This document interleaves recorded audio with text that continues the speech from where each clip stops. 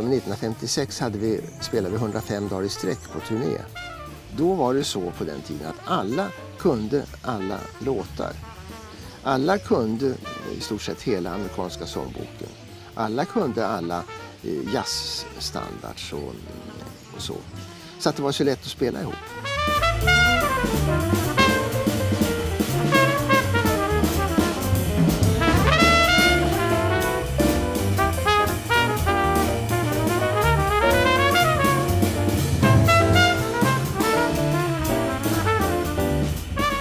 Jag har haft en väldig eh, glädje av att få spela med yngre musiker.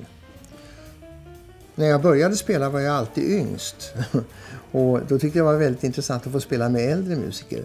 Och det var ju vårt universitet kan man säga, att, att eh, träffas på scenen och eh, lära sig av andra. Nu tycker jag det är precis lika roligt att träffa yngre musiker. Dels för att försöka tolka deras sätt att skriva musik.